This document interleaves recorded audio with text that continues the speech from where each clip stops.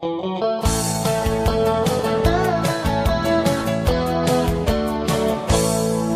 I was a little bitty baby, my mama would drop.